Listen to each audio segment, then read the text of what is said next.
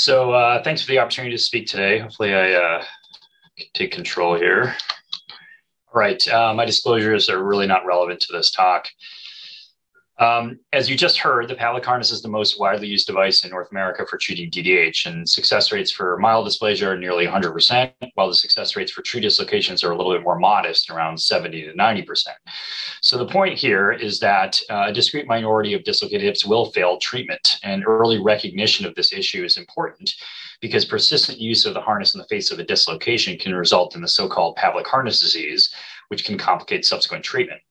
So there's several reasons for why a Pavlik might fail, and the bulk of this talk is going to focus on these different mechanisms and how to deal with them. So reason number one is uh, improper harness fit. So as you just heard uh, from Salil, obviously the harness is only going to work if it's fitted right. Preemies and neonates are often too small for even the smallest harness, and sometimes you have to delay treatment until they're a little bit bigger. At the other end of the spectrum, although they've had success in San Diego, many people uh, start becoming a little bit more reticent in using a harness over six months of age because the infants are larger and they can kind of overpower a harness. So in any infant who's failing treatment, you got to make sure that the fit is uh, accurate before you abandon treatment. So um, as a bit of a review, because you already heard this, uh, you know, there is a design to the way the Pavlik harness is set up. Um, the chest straps should be positioned at the nipple line by adjusting the height of the shoulder straps. The anterior straps set the amount of hip flexion, and they should run along the anterior axillary line. They usually position the hips in about 90 degrees of hip flexion. And the posterior, the abduction straps run posterior to the thigh, and they should not result in forced abduction, as this can increase the risk of AVN. Uh, reason number two for the Pavlik failure is poor patient compliance, as close follow-up and ultrasound is really needed to monitor progress and adjust the harness accordingly. Obviously, this is not a factor that's entirely in our control as, as uh, providers, but patient education and empowerment is really important to help improve our outcomes. Femoral nerve palsy can be a reason for Pavlik failure, and this has been associated with excessive hip flexion in the harness. The Texas Scottish Rite study published in JBJS reported the incidence to be around 2.5%.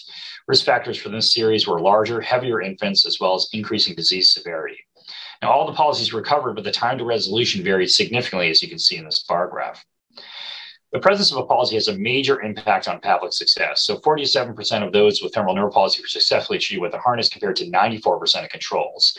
And the time to resolution affected the eventual success rate of the harness. In order to maximize the chances of the Pavlik working, the authors recommended that you uh, try to adjust the harness to less flexion or just temporarily halt the harness rather than getting large gaps in treatment uh, that can really affect your outcomes. Um, so reason number four uh, for why the Pavlik might fails is persistent dysplasia. So in the setting of an adequate reduction, this may not indicate failure of the harness per se, but rather insufficient length of treatment.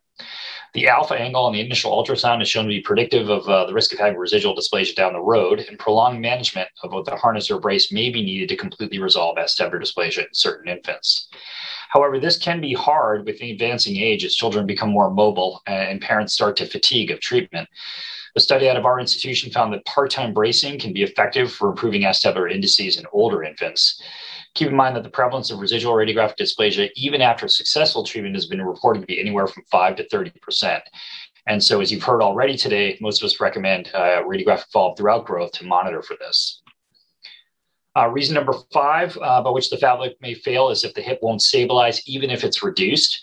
So this may indicate insufficient length of treatment or inadequate rigidity of the device. If you've been treating for a while and things remain unstable, consider an underlying ligamentous laxity condition or a syndrome. And also be sure you do indeed have a deep concentric reduction by double checking the ultrasound to confirm the absence of a structural impediment to reduction. Um, if your uh, reduction is good and the hip just won't stabilize, then you can stay the course with the Pavlik. You can consider a more rigid orthosis like an Ilfeld or a Plastizote abduction brace.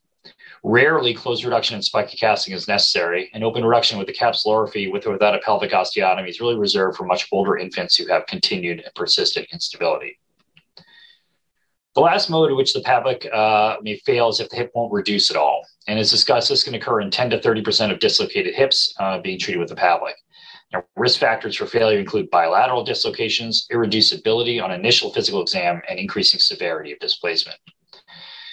Um, potential causes for failed reduction include extraarticular soft tissue contractures, mechanical blocks within the joint, and improper positioning in the device for that particular hip, or insufficient rigidity of the orthosis.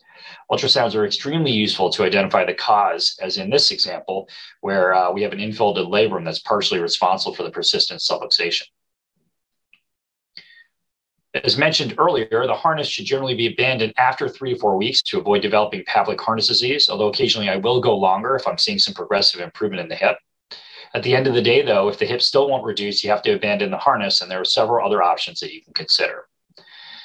So McLean described a modification of the Pavlik in which the posterior abduction straps are rerouted around the flexion straps to maintain increased abduction, uh, and reported on three patients in which this was successful after failure of standard Pavlik fitting.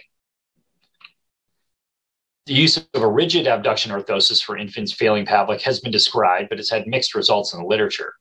Hedequist out of Boston, uh, along with Jim Kasser, reported an 82% success rate with the Plastizote orthosis following a failed Pavlik. But a follow up study in Los Angeles by Ibrahim, however, uh, found that abduction bracing was of no benefit. Our own anecdotal experience at uh, the Children's Hospital of Philadelphia has been that abduction bracing can be quite effective for this application. So, as a result, we designed and completed a study uh, several years ago um, looking at a cohort of 28 hips with DDH under six months of age who had failed a Pavlik harness and were treated with the brace that we like, which is the Ilfeld orthosis, and compare this to 22 hips that went directly to closed reduction and spica casting after Pavlik failure. In the end, 23 out of 28 of our hips in our bracing cohort were successfully stabilized with the Ilfeld brace, with three requiring closed reduction and two in open reduction. Meantime, the Ilfeld brace was 11 weeks, and there were no complications in this cohort.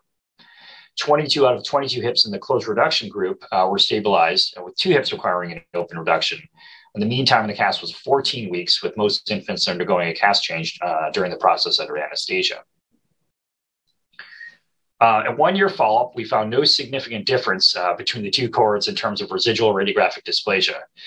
Interestingly, according to Salter's criteria, we found uh, three cases of, um, uh, of AVN uh, in the closed reduction cohort compared to none in the bracing cohort. So our 82% success rate that we found with the Ilfeld brace following Pavlik failure was consistent with Hedequist results and comparable to our own results following closed reduction and spica casting because of the uh, ability to uh, potentially have a lower AVN rate as well as avoid the burden of spica casting as well as the exposure to general anesthesia, we concluded that the Ilfeld brace should be considered as the next line of treatment following failed Pavlik prior to proceeding with closed reduction and spica casting. So here's an example from our series uh, of a, a one-week-old infant. Uh, here's what it looks like after four weeks in the harness. You can see the clear persistence of the dislocation. Two weeks after being switched to an Ilfeld, the hip has reduced, and by the end of bracing, the hip has, uh, has normalized. Another option for a failed Pavlik is traction. Uh, this is probably best for overcoming extra-articular soft tissue contractures, uh, like a tight psoas or an adductor. Uh, there are reports of traction being used after a failed Pavlik, followed by reinstitution of a Pavlik. Uh, there are also several reports of traction being followed by spica casting and uh, with good results. Uh, I've not had a lot of experience with this, and it's not performed a lot in North America. Another option, of course, for treating a failed Pavlik is a formal closed reduction uh, and spica casting under general anesthesia in the operating room. This is typically performed with an arthrogram uh, to judge the adequacy of the reduction and sometimes a tenotomy uh, to uh, help uh, improve the safe zone of the reduction. If you have a true intra-articular block, however, uh, or more severe soft tissue contracture, then a formal open reduction will be necessary. You'll hear a lot about this uh, in the subsequent talks. This can be formed through a medial or an anterior approach. And, and again, you're going to hear more about this later today. Um, so, in conclusion, uh, I'd say the Pavlik harness is generally successful, but failures absolutely do occur. Early recognition is important to try to avoid Pavlik harness disease. And if things aren't going well, consider the six mechanisms of failure that we talked about, as this can guide your potential solution. And there are several options after failure of the Pavlik, including uh, rigid bracing, traction, and closed and open reduction. Thank you.